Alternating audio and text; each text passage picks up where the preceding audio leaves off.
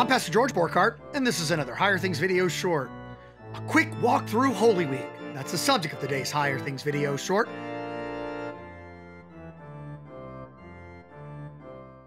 Like, subscribe, ring the bell, get the app, share, donate. If you love what we're doing in Higher Things, making the gifts of Christ Jesus known to youth and young adults, like our videos, subscribe to our YouTube channel, ring the bell for notifications, get our app. It's available on all major platforms. Sharing is caring when it comes to Higher Things content, and donate. A tax deductible gift to Higher Things keeps us a rolling, and we need your gifts in these dark times. Christianity has a pretty important week. And whether you're an evangelical or an Orthodox or uh, Orthodox Christian or a Roman Catholic or a Lutheran or Episcopalian or, you know, Arminian Christian, this is a big week. This is a huge week. The majority of the Gospels fill this week. This is the suffering and death of Jesus. And every year I like to take a second, and this is uh, here at the end of my my time as as your uh, your video short friend. Um, this will be the last time I'll do this, but each time it's been important.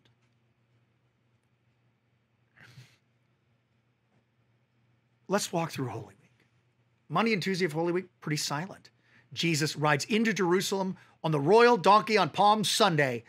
Uh, David's son, David's Lord, to David's city, Jerusalem, the city of peace, to the sound of singing, Hosanna, save us, Lord, to the highest.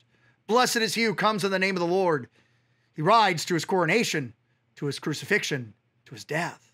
The sign above his head, which says, I N R I, Jesus of Nazareth, King of the Jews. Funny sort of king. He sets up shop in the temple, which is Monday and Tuesday of Holy Week. He sets up shop in the temple, and there he teaches. And there he comforts sinners. There he forgives. Wednesday of Holy Week is known as Spy Wednesday, as the enemies of the faith of Jesus, the enemies of Jesus, begin to work their darkness. Judas approaches the Pharisees, uh, uh the, the, the chief priests and the scribes, asking for money to betray Jesus. And then everyone is looking for the right time to do it. Maundy Thursday, aptly named Maundy from the Old English uh, mandatum sum, a new command I give to you, is Mandate Thursday. Thursday of Holy Week, we hear of Gethsemane. But in the in the church, we hear about the institution of the Lord's Supper. We also hear about the Passover and its connection to Jesus's crucifixion, especially in John's gospel, uh, where John sort of makes it very plain that as the lambs are slain at twilight, so the Son of God dies, the firstborn for all. Thursday is the night in which Jesus was betrayed into the hands of sinners.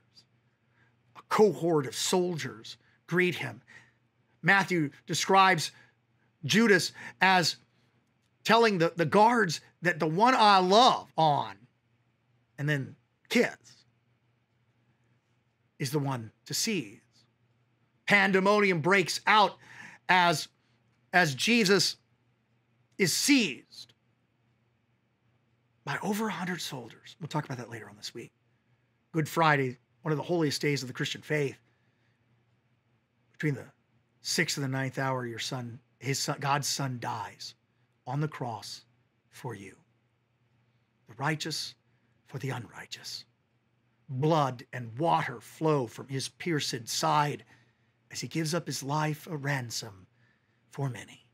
Truly, this was the Son of God. Easter Vigil is Saturday. Uh, the reading on the Lenten side of that is Mark is Matthew 27, the Pharisees arguing about guards being placed at the tomb and how the disciples are going to try to steal the body. Jesus sleeps died, dead, a corpse, in a new tomb hewn out of rock, Joseph of Arimathea's tomb. the vigil service, highlights the candle, the paschal candle, the symbol of the resurrection, as the sun goes down and it becomes Easter.